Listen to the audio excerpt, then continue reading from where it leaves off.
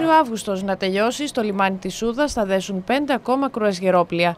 Σήμερα άγκυρα έριξε το Crown Princess, το οποίο είναι ένα από τα μεγαλύτερα πλοία της κατηγορίας του, αφού στα Χανιά ξεχύθηκαν 3.449 επισκέπτες. Το πλήρωμα του πλοίου είναι 1.148 άτομα.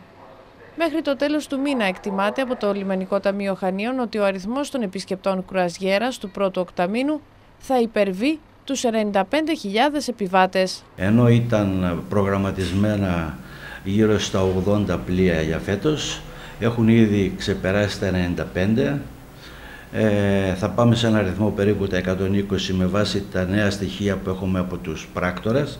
Και όλα αυτά είναι έκτακτα δρομολόγια τα οποία γίνονται άλλα λόγω καιρού επειδή το λιμάνι της Σούδας είναι ένα λιμάνι ασφαλές.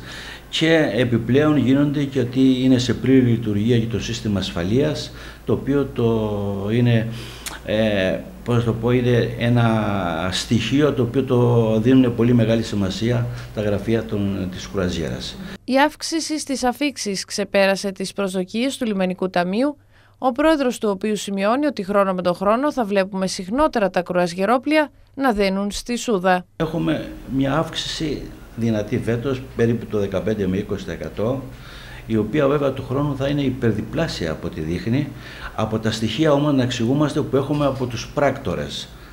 Ε, τα στοιχεία τα σίγουρα είναι αυτά που βγαίνουν από τις, από τις εκθέσεις, ε, από τις διάφορες εκθέσεις. Έχουν συμπληρωθεί, κάθε μήνα συμπληρώνονται με τα στοιχεία των πρακτόρων, που σημαίνει ότι του χρόνου θα είναι ακόμα περισσότερα και θα υπερβούμε τα 140 με 150 πλοία και πάνω από 200 με 250 χιλιάδες επισκέπτες.